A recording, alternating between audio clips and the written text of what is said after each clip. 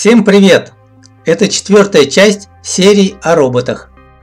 В этом видео показана 3D-печать деталей внутреннего блока для ведущего узла. Всего будет два ведущих узла. Каждый ведущий узел будет состоять из поворотного узла, изготовление которых я показал во второй части плейлиста, а также встроенного в поворотный узел редуктор с шаговым двигателем. Внутренний блок состоит из трех основных деталей. Две детали корпуса, в который крепится редуктор, и одной верхней крышки, в которую будут упираться пружины для амортизации.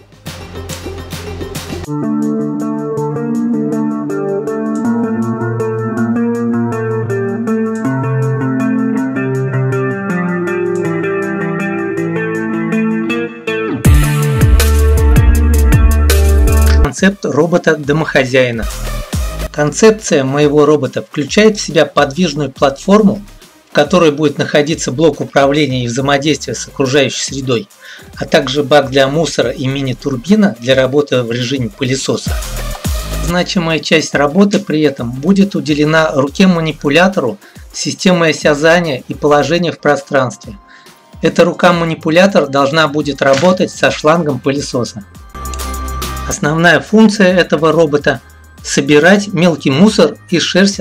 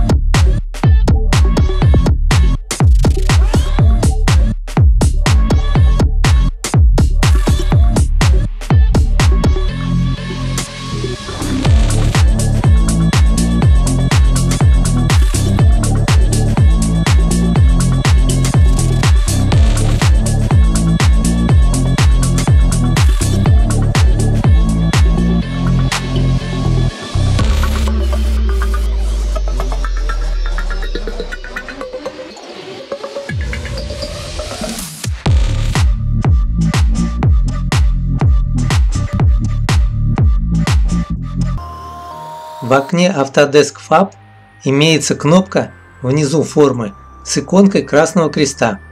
При нажатии на нее появляются варианты способов исправления.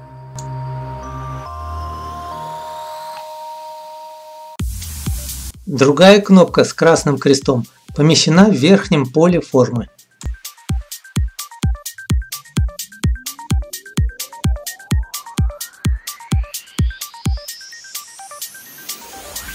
Применяем исправление и импортируем модель в STL файл.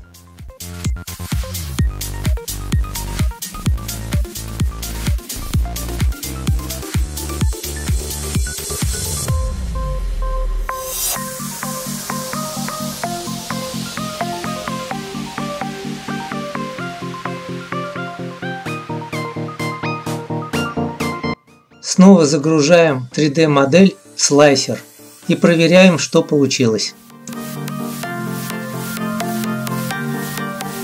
Заходим на закладку «Слои» и видим, что нет тех разрывов и пустот, которые были прежде.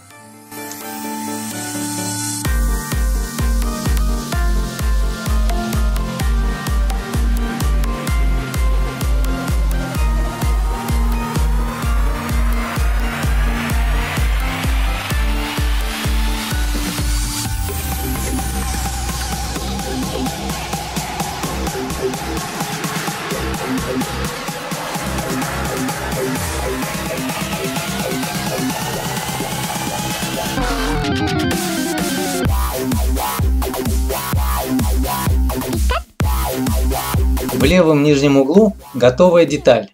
Это нижняя часть внутреннего блока. А в правом верхнем углу кадра готовая деталь верхней части внутреннего блока.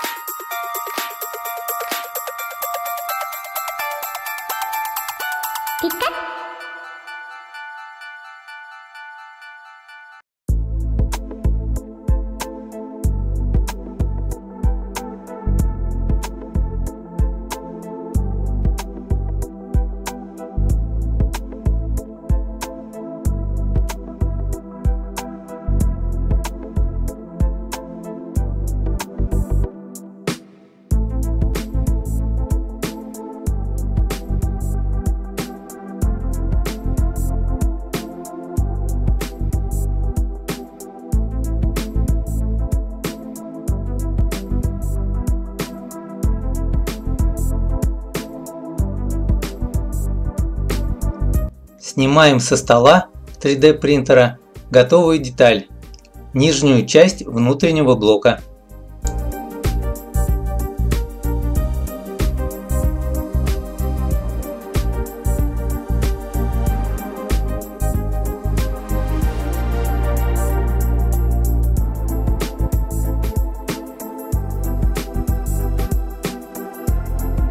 В нижнем левом углу готовая крышка внутреннего блока под редуктор.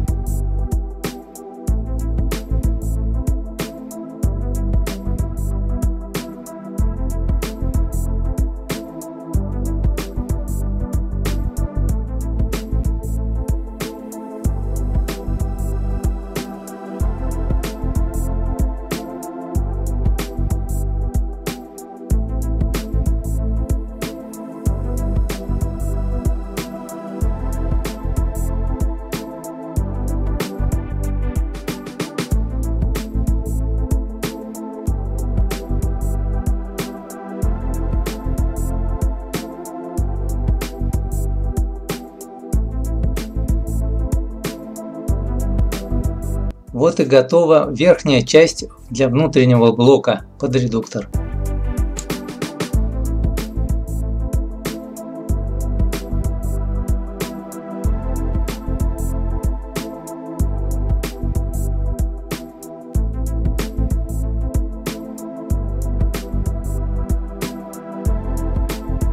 Осталось напечатать крышку для внутреннего блока ведущего узла.